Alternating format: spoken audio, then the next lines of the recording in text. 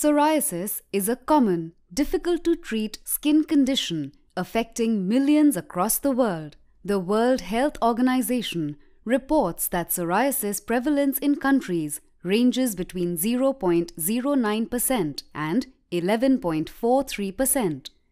Patients with psoriasis develop patches of dry, scaly skin that itch terribly.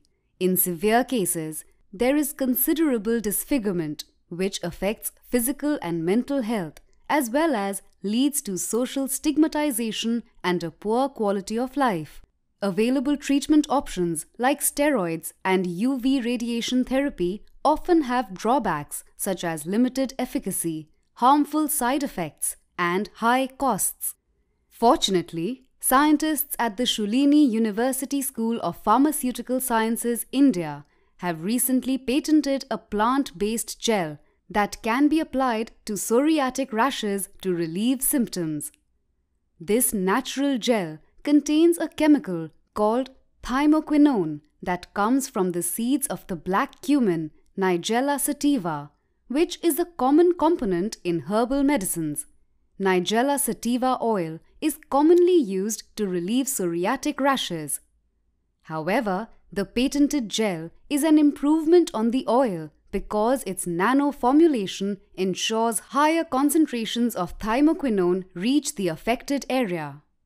This means that this novel gel is highly effective even in small quantities. In addition, it helps penetrate the tough psoriatic skin easily without causing side effects like irritation.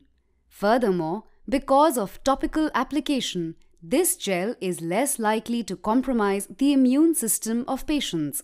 Unlike most palliative treatment options, this is welcome news during the current COVID 19 pandemic.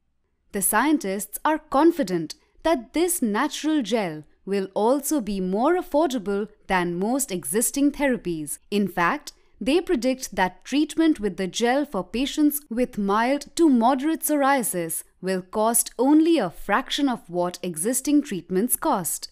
This herbal based gel, sourced from plants growing in the pristine Himalayan mountainside, provides a safe and effective treatment option for many low income patients with psoriasis across the world, offering them hope for a better quality of life.